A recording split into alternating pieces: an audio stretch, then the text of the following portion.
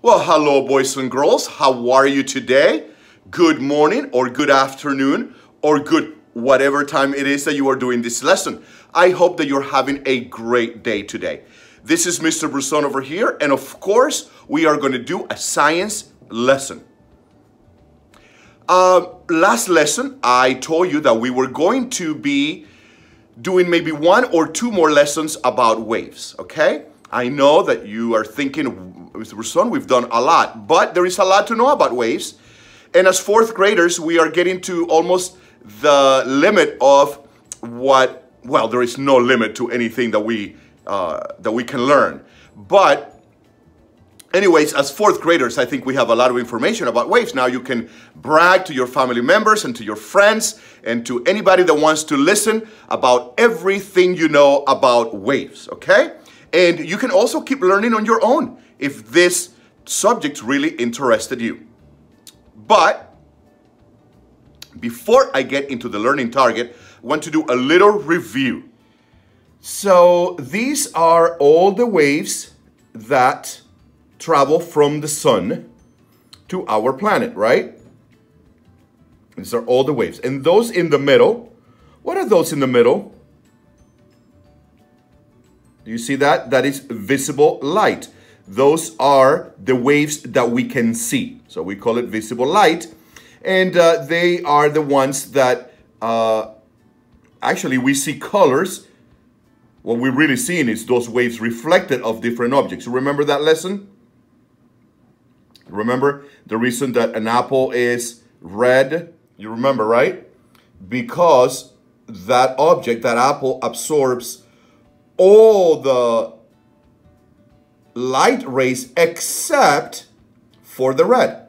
The red is reflected back and so we can see that color. You remember that lesson, I'm sure. So when the light waves go through a prism, remember, it was divided into all those colors and we can see which is the colors of the rainbow.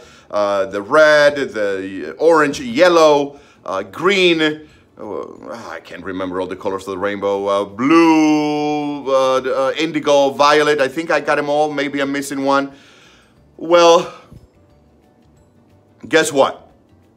Today, we do not want to talk, we do not want to explore, we do not want to discuss visible light. We do not want to explore that today. We want to explore the waves that the human eye cannot see, but that we know are there. So the ones that have a longer wavelength than red. Remember, red is uh, are the waves that have the longest wavelength. So we want to explore today those lights that happen after the red. You see how the wavelengths keep getting bigger for the infrared, the microwave, and the radio. Our learning target today is I can explain how we use some of the electromagnetic waves that are invisible to the human eye. Okay? So by the end of this lesson, you will be able to explain how it is that humans, that you and me, use the electromagnetic waves that are invisible to the human eye. So not the visible light, but those waves that have a longer wavelength than the red light wave. So I want to give you a few minutes, okay? I want to give you a few minutes for you to just sort of guess, uh, but maybe not totally guessing. I'm sure many of you have already heard or have seen someone explain or have explored how we use those waves. But if you haven't, I guess it would be sort of a guess. So I want you to take a few minutes and in your notebooks or in whatever document you are using to uh, take notes for science, I want you to write how do you think that us humans, how do you think that we use those waves? So what do we use them for, okay? So take a few minutes and explain that in your notebooks. How do we use those invisible waves?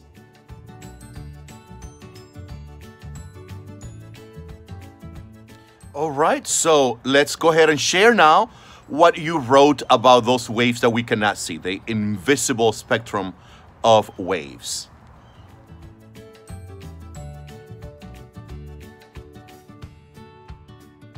Well, I'm not going to wait any longer. And now I am going to tell you that today we are going to explore how cell phones work and how radios work and how TVs work. How is it that we can get an image or we can get a sound, okay, right in our faces, okay? When that image and that sound was sent from uh, hundreds and thousands of miles away. How does that work? How did it get to us? How did it travel from one point to the other? Do we have a little green man running from point A to point B, bringing back and forth messages? Is that the way that it happens? You know, uh, how do we get that information in such a short period of time? Right? All those images and all those sounds to our cell phone, to our TV, our radios. How does that happen? So today we are not going to get into how we discovered that there were those invisible waves, okay? Uh, but you can, you, you can look for a lot of information, different people that were interested, that were scientists, that were curious. It's usually curiosity. And sometimes they were doing something else and they discovered those waves, okay? But now we know, thanks to those people, that we do have those invisible waves, okay?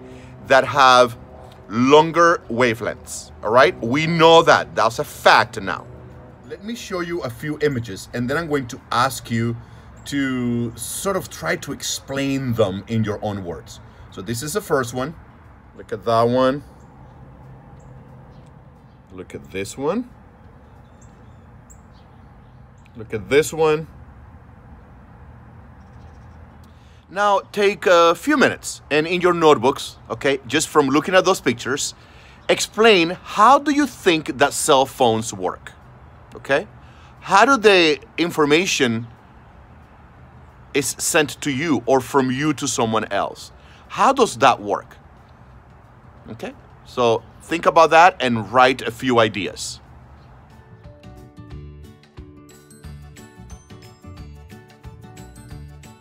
And now, let's uh, share with the rest of the class.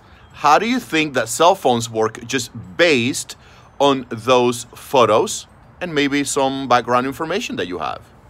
Let's share.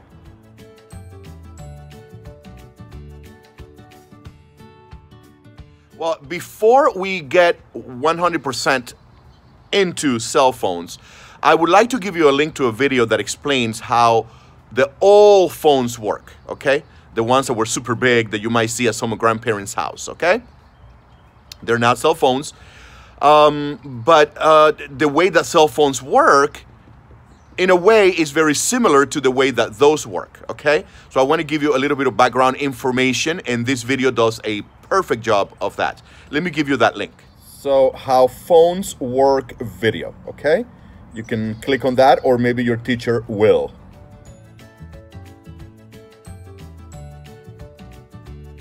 So once we figured a way, right? According to the video, once we figure a way to turn uh, uh, that vibration into electrical signals, all we needed was cables to send it from one side of the country to another side of the country, or from one side of the world to another side of the world. However, if you look at your cell phones, are there any cables connected to your phone? That's right.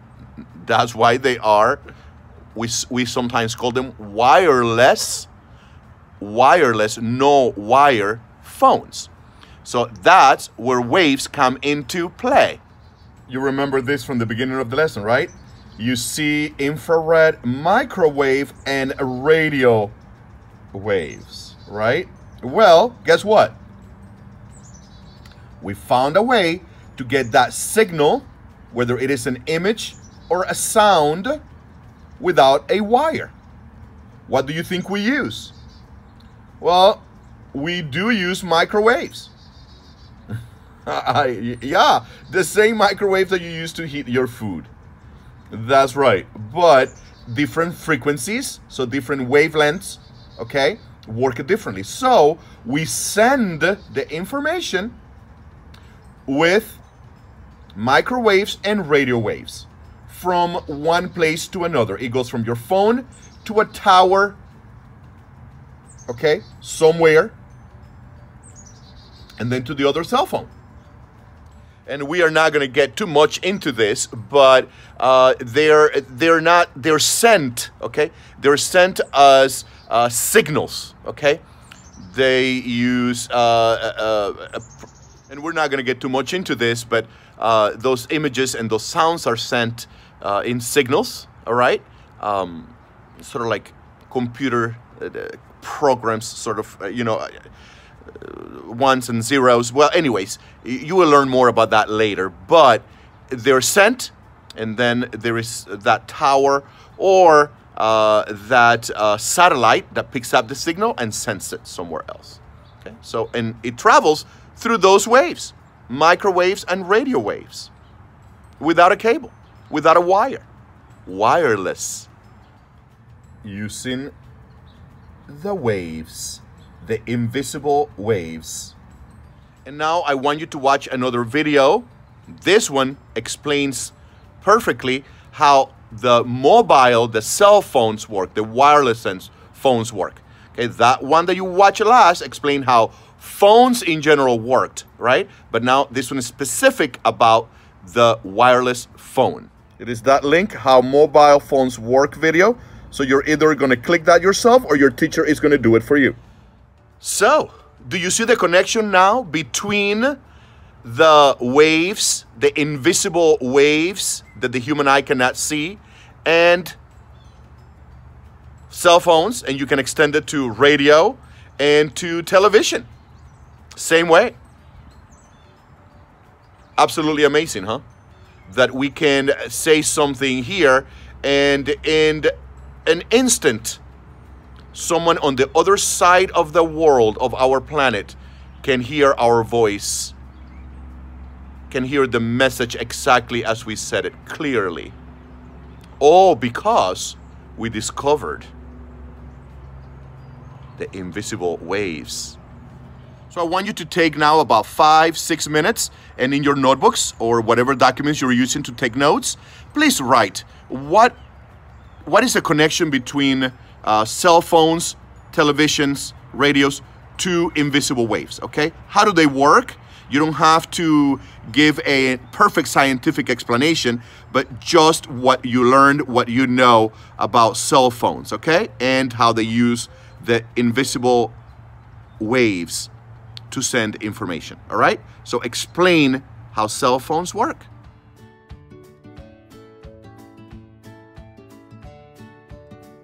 Okay, boys and girls, if you have time, you can share now. Two or three of you can share, or more if there is uh, enough time.